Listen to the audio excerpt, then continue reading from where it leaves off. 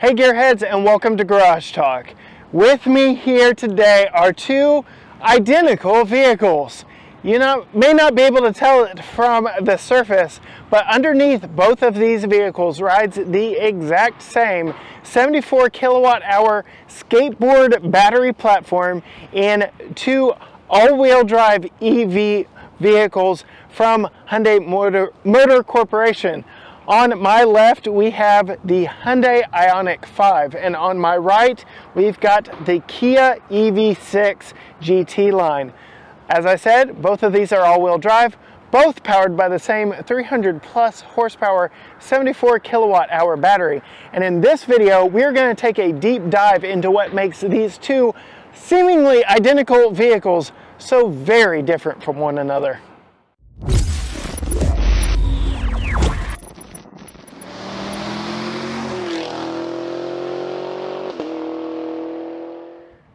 Starting under the hoods of both of these, you won't find a motor because they are an electric vehicle in their own right. And you don't really get a front trunk. You do get front storage in both. It's the exact same plastic cargo tray that's large enough for uh, your cables and everything you need for at-home charging. Closing the hood, we will take a look here at the Ioniq 5 first. Very unique styling and a one-off style from the Hyundai brand. Very pixelated design in all that they did. I really like the blocky look of the headlights, the DRLs, and even the turn signals, which you can see uh, from the passenger side, uh, the DRLs actually turn into the turn signals. Up front here, moving across the entire width, this actually lights up when the car is on. It's a little hard to see in these lighting conditions, but trust me, there are little white lines that light up. And so at night, in, in true darkness, this has a very unique signature as it's moving front and center closer to you. Down here, you have active aero shutters to help with airflow in and around the vehicle. Very good integrated parking sensors. And then moving around to the side here, you get very, very unique 20 inch wheels with this blacked out center section that at speed looks like a saw going down the road. Uh, they are wrapped in Primacy Tour tires from Michelin. Moving down the profile, it is a very deceptive car in its design because the wheelbase of this vehicle is actually four inches longer than the Palisade and Telluride three-row crossovers from both of these brands. At 118 and some change inches, this is a very long platform and all of that space goes inside. You will see here both vehicles feature these pop-out door handles that do retract into the vehicle when it is locked. So getting into the vehicle, if you aren't supposed to, is a big hindrance. Back here at the back, more angular styling that echoes all the designs, increases down the side profile of the vehicle. Very reminiscent to some other Hyundai products. Think the Tucson, think the Elantra. Very angular styling, but then again, back here we get more of the pixel look. You get pixelated taillights, pixelated turn signals, and just pixels everywhere. If you are into Minecraft, I'm sure you will love this vehicle. And then down here, this lets you know H-Track all-wheel drive. This is the dual motor version. You do have a power lift gate back here in the back with a rather spacious rear cargo compartment. You do have a false load floor with some additional uh, tire mobility kit and things down here for that. You do get a cargo shade for privacy and we will talk more on the interior here in just a bit because now I want to shift gears and come around to the Kia EV6. Again, rides on the same 118 inch and some change wheelbase that this Ioniq does, but completely different design language. Where Hyundai went with angular and boxy and pixelated, Kia went smooth, flowing lines, very organic in its design, very interesting in its own right. You can see they also use LED lights, DRLs, and turn signals up front, but took an entirely different approach uh, from Hyundai when designing the front of this vehicle. You also get Kia's new design language. Featured first here on the EV6, has now translated up to the Sportage compact crossover which as you move around to the side of the EV6, you start to get some tall wagon crossover crossover vibes with the overall design and shape of this vehicle. So you get this tall roofline dripping back down to this tapered tail. You get this very large duckbill spoiler taillight module system here that looks really cool.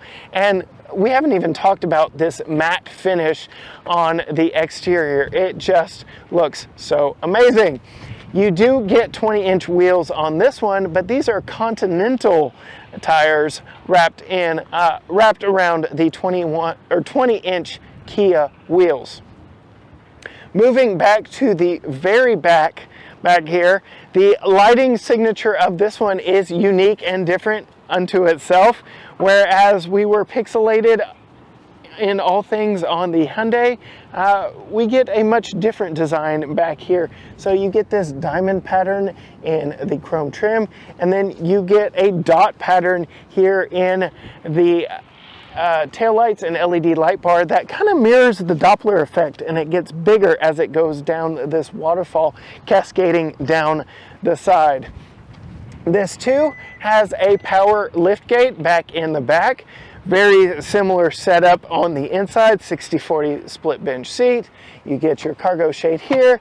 You have your false load floor with additional stuff underneath and a button to close it here.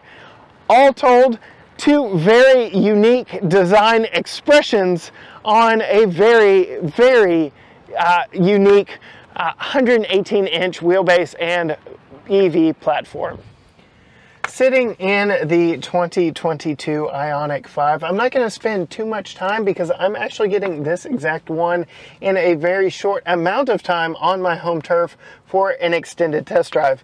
But I do have the window sticker here. I will say this is the limited model. It is all-wheel drive and it stickers for 55,920. Some things I will point out that are unique to this vehicle. The pixelated pattern continues on the leatherette seats and running down the ventilated portion here. So you can see that pixelated pattern, which is also carried over on the door panels with a unique granite stone-like look there as well.